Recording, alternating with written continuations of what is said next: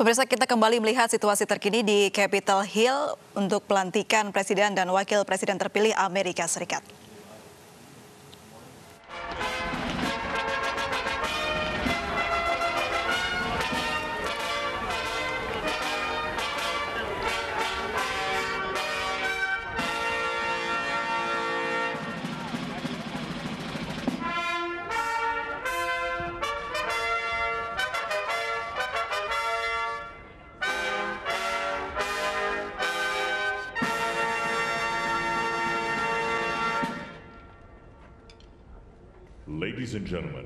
Vice President elect of the United States, Kamala Devi Harris, and Mr. Douglas Emhoff.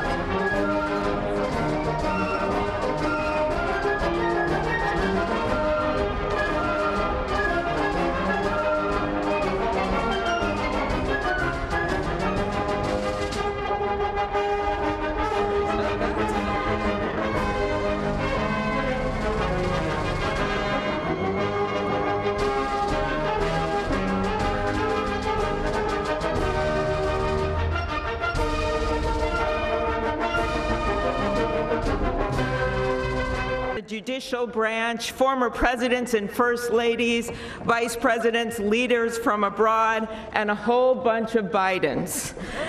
America, welcome to the 59th presidential inauguration, where in just a few moments, Joe Biden and Kamala Harris will take their solemn oaths. This ceremony is the culmination of 244 years of a democracy. It is the moment when leaders brought to this stage by the will of the people promise to be faithful to our Constitution, to cherish it and defend it. It is the moment when they become, as we all should be, guardians of our country.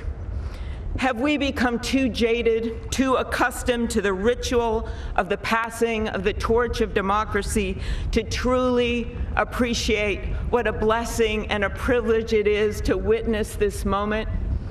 I think not. Two weeks ago, when an angry, violent mob staged an insurrection and desecrated this temple of our democracy, it awakened us to our responsibilities as Americans. This is the day when our democracy picks itself up, brushes off the dust, and does what America always does goes forward as a nation under God, indivisible, with liberty and justice for all. This conveyance of a sacred trust between our leaders and our people takes place in front of this shining Capitol dome for a reason. When Abraham Lincoln gave his first inaugural address in front of this Capitol, the dome was only partially constructed, braced by ropes of steel. He promised he would finish it. He was criticized for spending funds on it during the Civil War. To those critics, he replied, if the people see the Capitol going on, it is a sign we intend the Union shall go on. And it did, and it will.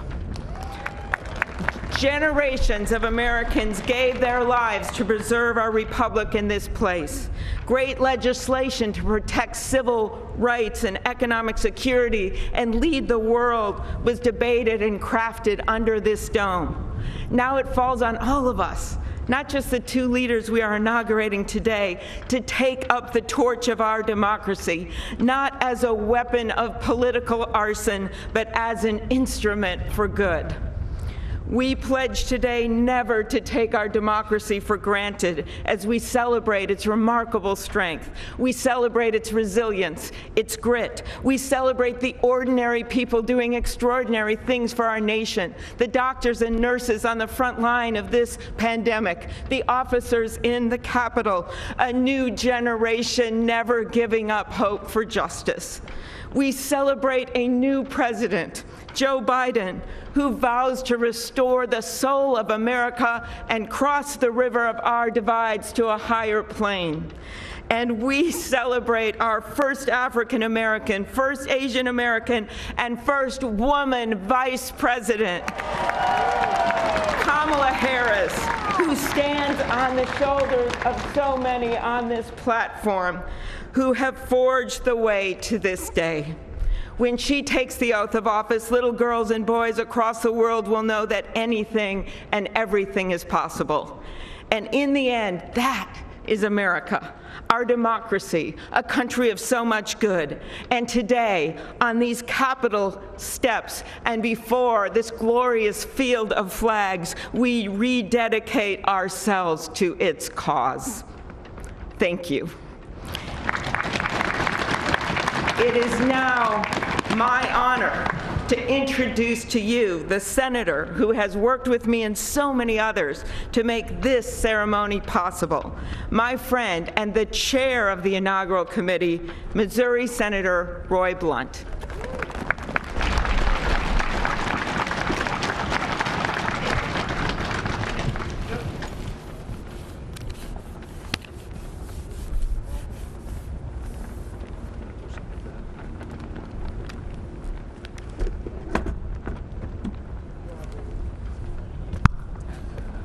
I should have known when Senator Klobuchar got involved, at least there'd be a touch of snow up here this morning. of all the things we'd considered, I don't think snow was on my agenda until I walked out the door a moment ago. But thank you, Senator Klobuchar, and thanks to the other members of the Joint Congressional Committee on the inauguration as we officially begin the 59th inaugural ceremony. I also want to thank the Joint Committee staff and our partners, particularly our security partners, for the, day, the way they've dealt with unprecedented circumstances. When I chaired the inauguration four years ago, I shared President Reagan's 1981 description of this event as commonplace and miraculous. Commonplace because we've done it every four years since 1789. Miraculous because we've done it every four years since 1789. Americans have celebrated this moment during war, during depression, and now during pandemic. Once again, all three branches of our government come together as the Constitution envisions. Once again, we renew our commitment to our determined democracy, forging a more perfect union. That theme for this inauguration, our determined democracy, Forging a More Perfect Union was announced by the Joint Committee before the election with the belief that the United States can only fulfill its promise and set an example for others if we are always working to be better than we have been. The Constitution established that determined democracy with its first three words, declaring the people as the source of the government. The Articles of Confederation hadn't done that, the Magna Carta hadn't done that. Only the Constitution says the government exists because the people are the source of the reason it exists. They immediately followed those first three words with the words to form a more perfect union. The founders did not say to form a perfect union. They did not claim that in our new country nothing would need to be improved. Fortunately, they understood that always working to be better would be the hallmark of a great democracy. The freedoms we have today, the nation we have today, is not here just because it happened, uh, and they aren't complete. A great democracy working through the successes and failures of our history, striving to be better than it had been. And we are more than we have been, and we are less than we hope to be. The assault on our capital at this very place just two weeks ago reminds us that a government designed to balance and check itself is both fragile and resilient. During the last year, the pandemic challenged our free and open society and called for extraordinary determination and sacrifice, and still challenges us today. Meeting that challenge head on have been and are healthcare workers, scientists, first responders, essential frontline workers, and so many others we depend on in so many ways. Today we come to this moment. People all over the world, as we're here, are watching and will watch what we do here. Our government comes together. The Congress and the courts join the transition of executive responsibility. One political party more pleased today and on every inaugural day than the other. But this is not a moment of division, it's a moment of unification. A new administration begins and brings with it a new beginning. And with that, our great national debate goes forward, and a determined democracy will continue to be essential in pursuit of a more perfect union and a better future for all Americans. What a privilege for me to join you today. Thank you.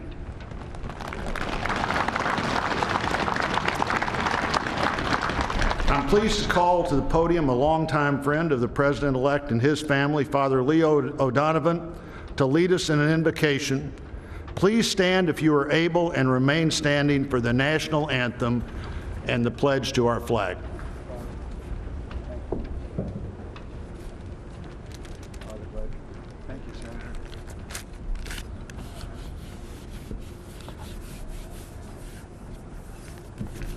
step for me. Thank you.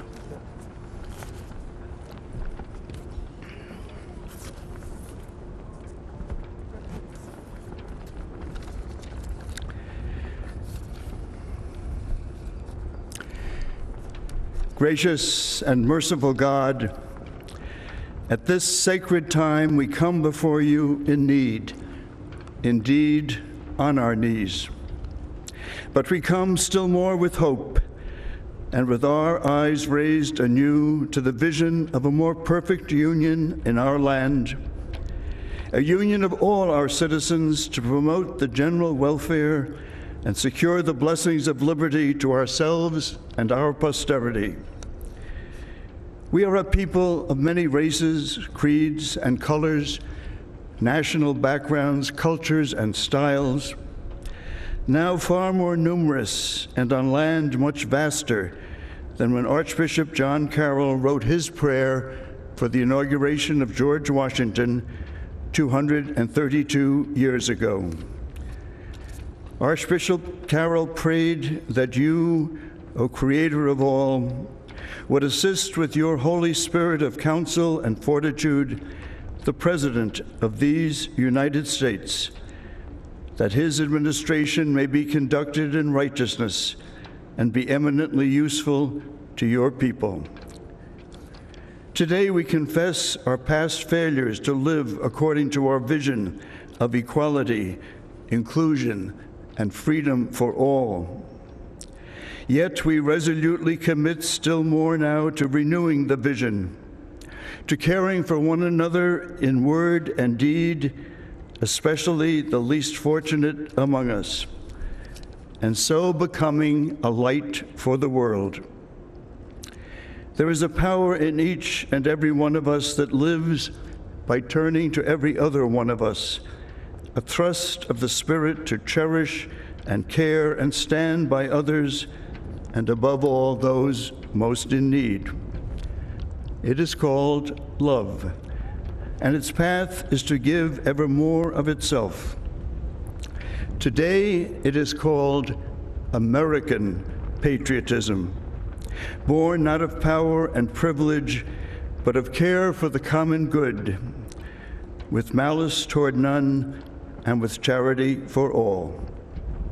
For our new president, we beg of you the wisdom Solomon sought when he knelt before you and prayed for an understanding heart so that I can govern your people and know the difference between right and wrong. We trust in the counsel of the letter of James. If any of you lacks wisdom, you should ask God, who gives generously to all without finding fault, and it will be given to you.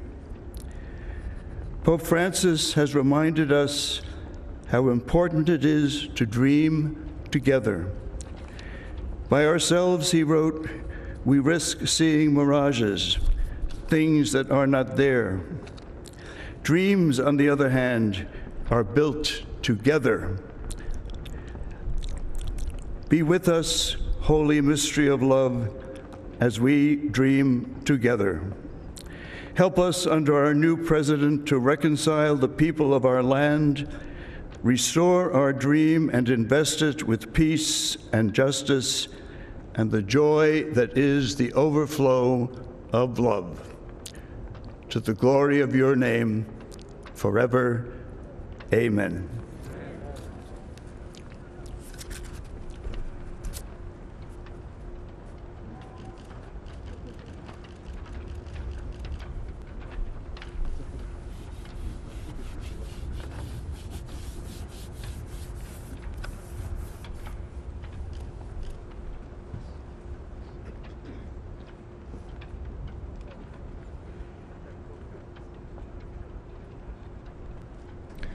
Ladies and gentlemen, please remain standing for the presentation of our national colors by the Armed Forces Color Guard, the singing of our national anthem, and for the Pledge of Allegiance.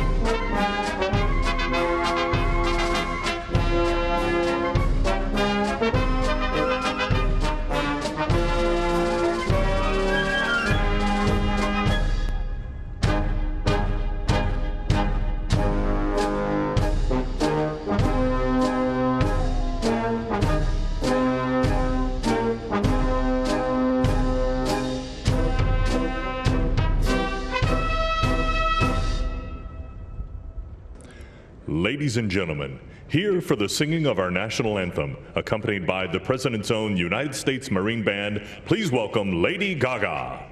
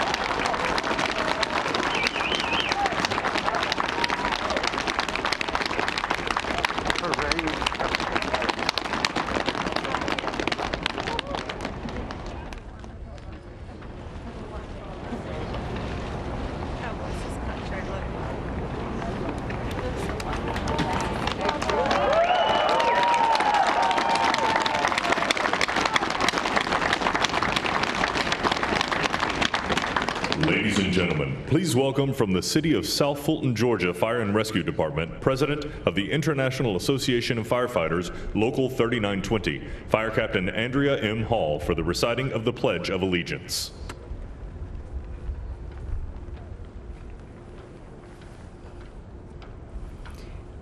I pledge allegiance to the flag of the United States of America and to the republic for which it stands, one nation, under God, indivisible, with liberty and justice for all.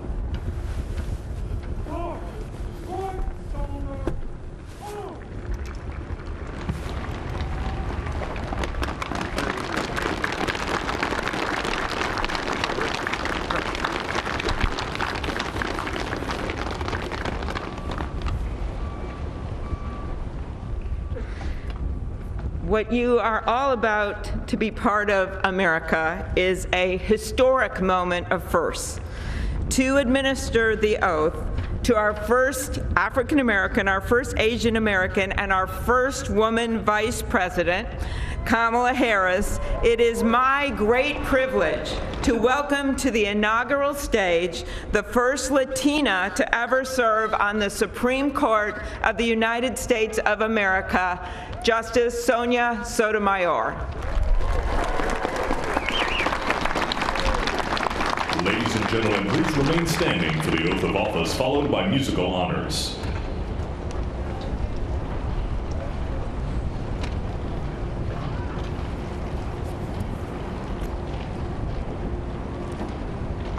Please raise your right hand and repeat after me.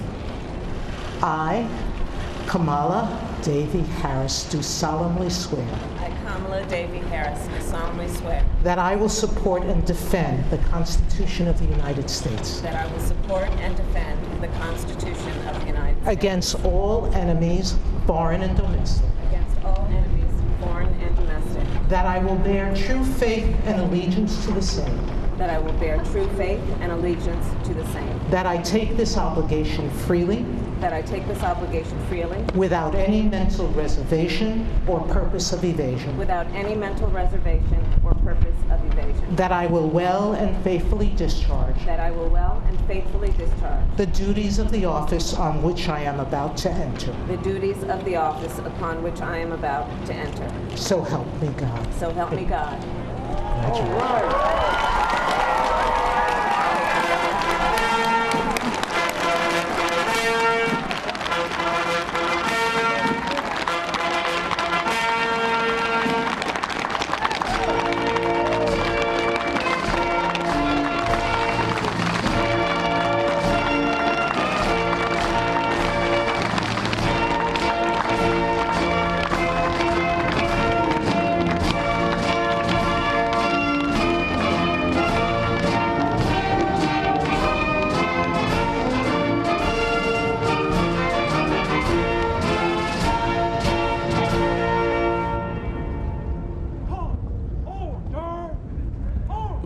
and gentlemen, please be seated.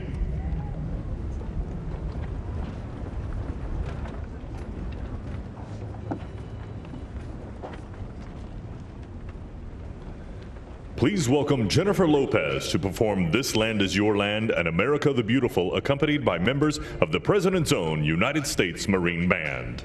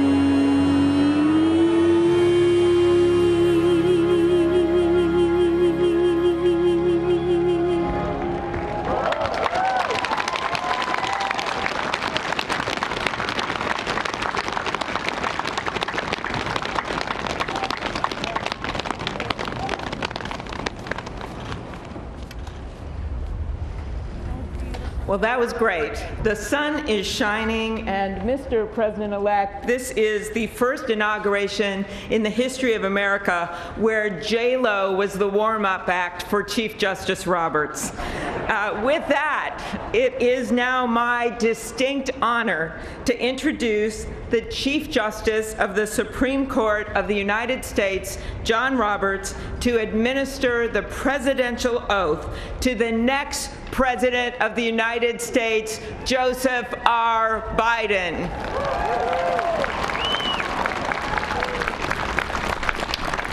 Ladies and gentlemen, please stand for the oath of office, followed by musical honors.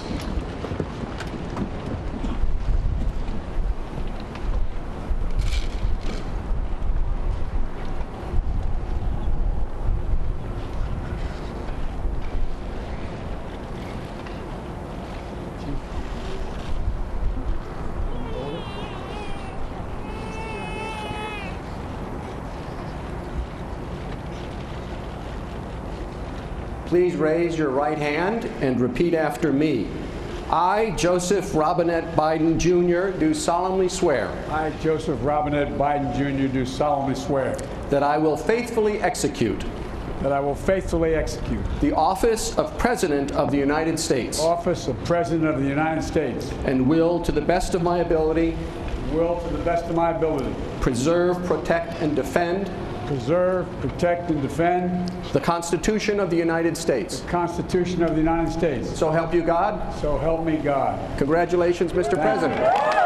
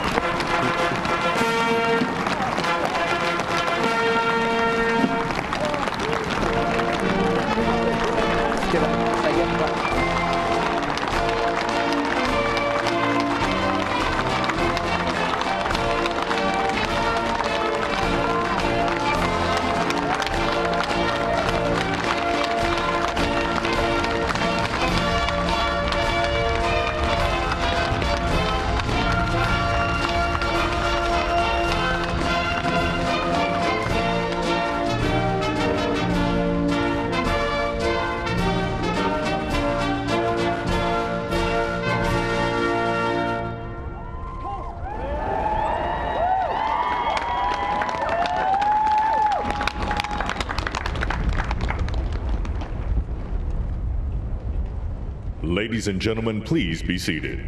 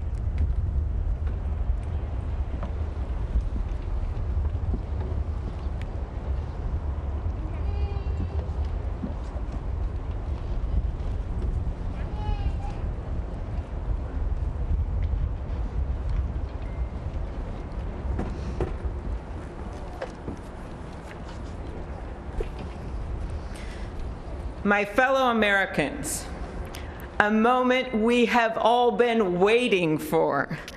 It is now my great privilege and high honor to be the first person to officially introduce the 46th President of the United States, Joseph R. Biden Jr.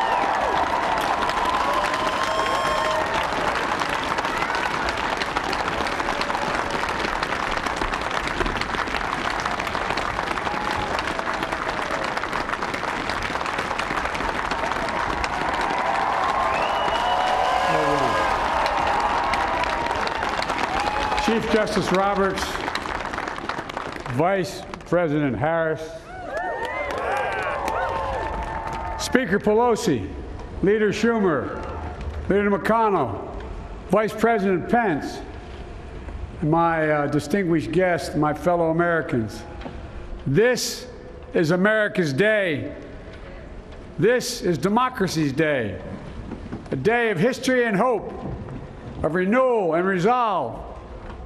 Through a crucible for the ages, America has been tested anew, and America has risen to the challenge. Today, we celebrate the triumph not of a candidate, but of a cause the cause of democracy. The people, the will of the people, has been heard, and the will of the people has been heeded. We've learned again that democracy is precious. Democracy is fragile.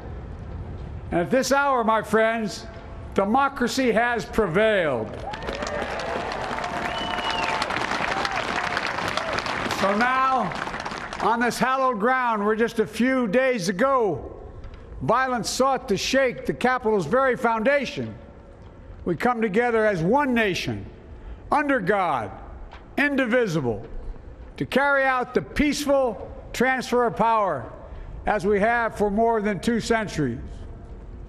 As we look ahead in our uniquely American way, restless, bold, optimistic, and set our sights on the nation we know we can be and we must be. I thank my predecessors of both parties for their presence here today. I thank them from the bottom of my heart. And I know and I know the resilience of our Constitution and the strength, the strength of our nation, as does President Carter, who I spoke with last night, who cannot be with us today, but whom we salute for his lifetime in service.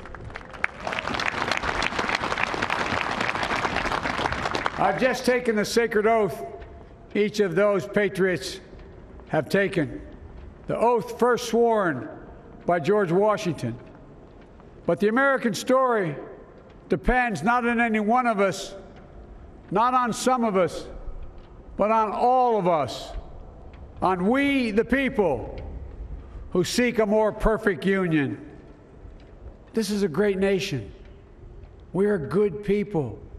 And over the centuries, through storm and strife, in peace and in war, we've come so far, but we still have far to go.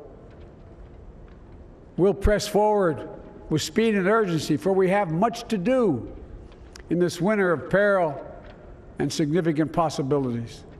Much to repair, much to restore, much to heal, much to build, and much to gain. Few people in our nation's history have been more challenged or found a time more challenging or difficult than the time we're in now. Once in a century virus that silently stalks the country. It's taken as many lives in one year as America lost in all of World War II. Millions of jobs have been lost. Hundreds of thousands of businesses closed. A cry for racial justice, some 400 years in the making, moves us. The dream of justice for all will be deferred no longer. A cry for survival comes from the planet itself.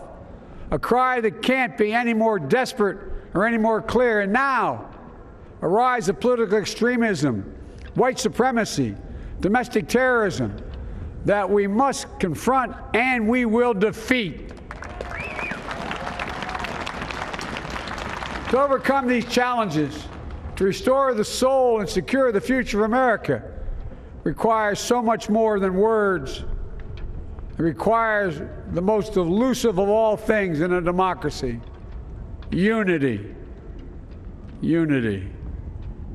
In another January, on New Year's Day in 1863, Abraham Lincoln signed the Emancipation Proclamation. When he put pen to paper, the president said, and I quote, If my name ever goes down into history, it'll be for this act, and my whole soul is in it. My whole soul is in it. Today, on this January day, my whole soul is in this, bringing America together, uniting our people, uniting our nation. And I ask every American to join me in this cause.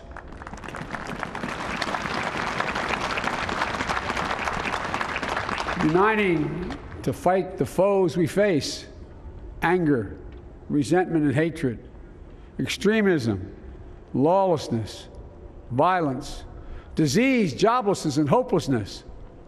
With unity, we can do great things, important things. We can right wrongs. We can put people to work in good jobs. We can teach our children in safe schools. We can overcome the deadly virus. We can reward, reward work and rebuild the middle class and make health care secure for all. We can deliver racial justice and we can make America once again the leading force for good in the world. I know speaking of unity can sound to some like a foolish fantasy these days. I know the forces that divide us are deep and they are real. But I also know they are not new. Our history has been a constant struggle between the American ideal that we're all are created equal and the harsh, ugly reality that racism, nativism, fear, demonization have long torn us apart. The battle is perennial, and victory is never assured. Through Civil War, the Great Depression, World War, 9 11, through struggle, sacrifice, and setbacks, our better angels have always prevailed. In each of these moments, enough of us, enough of us have come together to carry all of us forward. And we can do that now. History, faith, and reason show the way, the way of unity. We can see each other not as adversaries, but as neighbors. We can treat each other with dignity and respect. We can join forces, stop the shouting, and lower the temperature. For without unity, there is no peace, only bitterness and fury. No progress, only exhausting outrage. No nation, only a state of chaos. This is our historic moment of crisis and challenge. And unity is the path forward. And we must meet this moment as the United States of America. If we do that, I guarantee you we will not fail. We have never, ever, ever, ever failed in America we've acted together. And so today, at this time, in this place, let's start afresh. All of us. Let's begin to listen to one another again, hear one another, see one another, show respect to one another. Politics doesn't have to be a raging fire, destroying everything in its path. Every disagreement doesn't have to be a cause for total war. And we must reject the culture in which facts themselves are manipulated and even manufactured.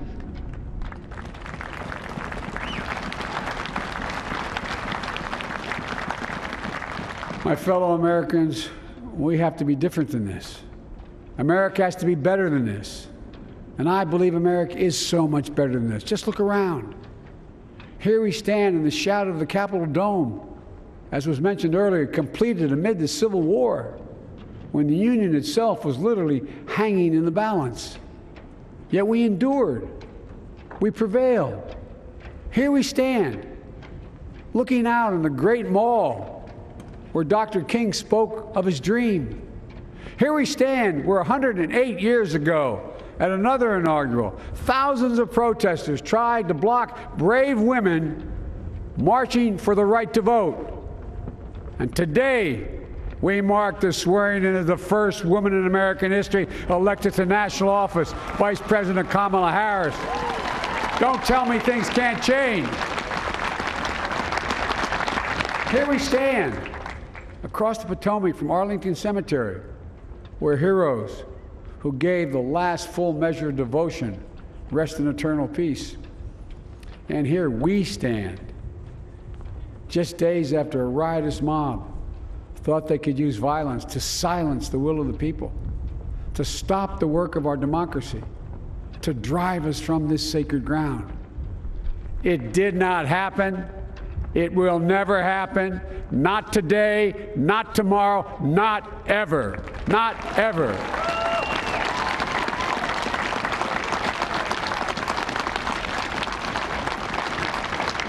To all those who supported our campaign, I'm humbled by the faith you've placed in us.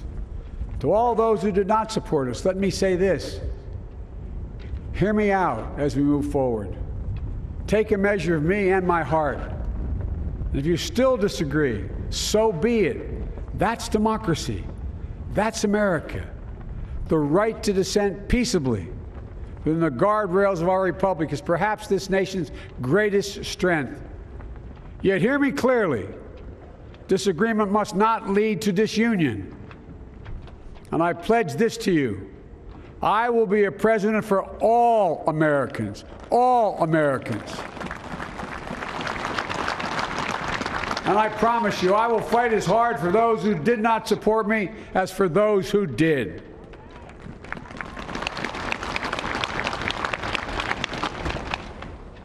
Many centuries ago, St. Augustine, a saint of my church, wrote that a people was a multitude defined by the common objects of their love. Defined by the common objects of their love. What are the common objects we as Americans love that define us as Americans? I think we know opportunity, security, liberty, dignity, respect, honor, and yes, the truth. Recent weeks and months have taught us a painful lesson. There is truth and there are lies. Lies told for power and for profit. And each of us has a duty and a responsibility as citizens, as Americans, and especially as leaders. Leaders who have pledged to honor our Constitution and protect our nation, to defend the truth and defeat the lies. Look, I understand that many of my fellow Americans view the future with fear and trepidation. I understand they worry about their jobs. I understand, like my dad, they lay in bed staring at the at night, staring at the ceiling, wondering, can I keep my health care? Can I pay my mortgage? Thinking about their families, about what comes next. I promise you, I get it. But the answer is not to turn inward, to retreat into competing factions, distrusting those who don't look like, look like you, or worship the way you do, or don't get their news from the same sources you do. We must end this uncivil war that pits red against blue, rural versus urban, or, rural versus urban, conservative versus liberal. We can do this if we open our souls instead of hardening our hearts, if we show a little tolerance and humility, and if we're willing to stand in the other person's shoes, as my mom would say, just for a moment, stand in their shoes. Because here's the thing about life there's no accounting for what fate will deal you. Some days, when you need a hand. There are other days when we're called to lend a hand. That's how it has to be. That's what we do for one another. And if we are this way, our country will be stronger, more prosperous, more ready for the future. And we can still disagree. My fellow Americans, in the work ahead of us, we're going to need each other. We need all our strength to, preserve, to persevere through this dark winter. We're entering what may be the toughest and deadliest period of the virus. We must set aside politics and finally face this pandemic as one nation. One nation. And I promise you this as the Bible says, weeping may endure for a night, but joy cometh in the morning. We will get through this together. Together. Look, folks, all my colleagues I serve with in the House and the Senate up here, we all understand the world is watching, watching all of us today. So here's my message to those beyond our borders America has been tested, and we've come out stronger for it. We will repair our alliances and engage with the world once again. Not to meet yesterday's challenges, but today's and tomorrow's challenges. And we'll lead not merely by the example of our power, but by the power of our example.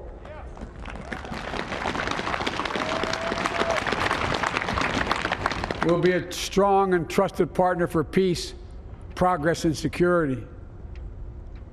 Look, you all know we've been thr- through so much in this nation. And my first act as president, I'd like to ask you to join me in a moment of silent prayer.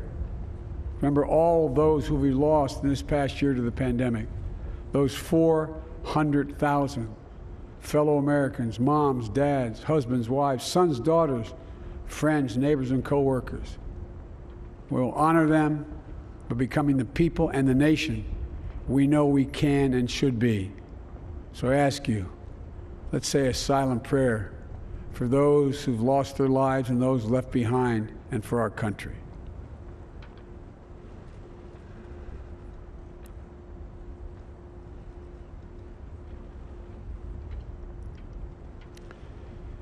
Amen.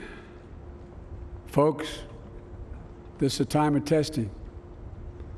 We face an attack on our democracy and on truth, a raging virus, growing inequity, the sting of systemic racism, a climate in crisis, America's role in the world. Any one of these would be enough to challenge us in profound ways. But the fact is, we face them all at once presenting this nation with the, one of the gravest responsibilities we've had. Now we're going to be tested. Are we going to step up? All of us? It's time for boldness, for there's so much to do. And this is certain. I promise you, we will be judged, you and I, by how we resolve these cascading crises of our era. We will rise to the occasion, is the question. Will we master this rare and difficult hour? Will we meet our obligations and pass along a new and better world to our children? I believe we must. I'm sure you do as well. I believe we will. And when we do, we'll write the next great chapter in the history of the United States of America, the American story. A story that might sound something like a song that means a lot to me. It's called American Anthem. There's one verse that stands out, at least for me, and it goes like this The work and prayers of century have brought us to this day. What shall be our legacy? What will our children say?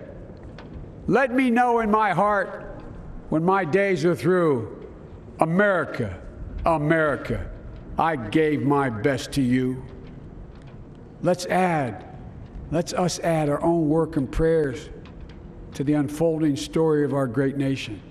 If we do this, then when our days are through, our children and our children's children will say of us, they gave their best, they did their duty, they healed a broken land.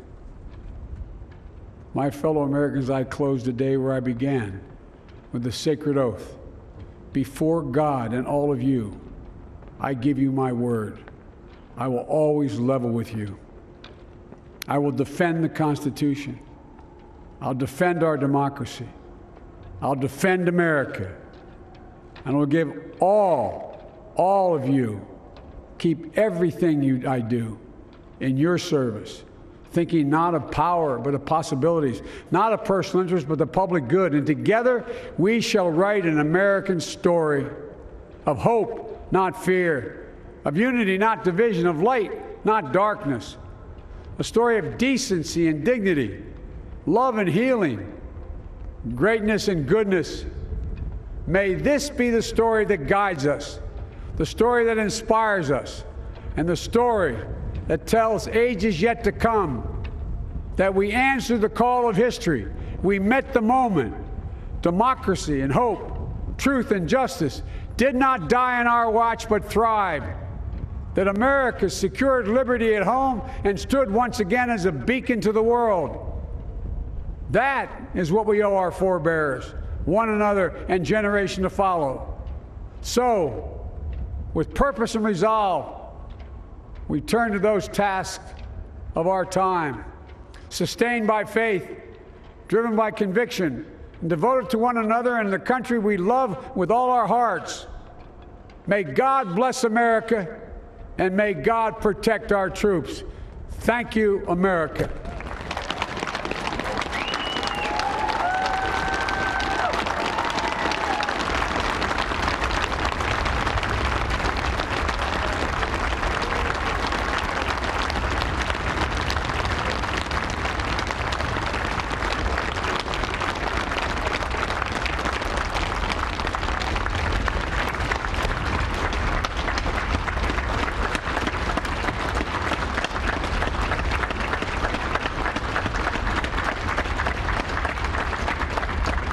Ladies and gentlemen, please be seated.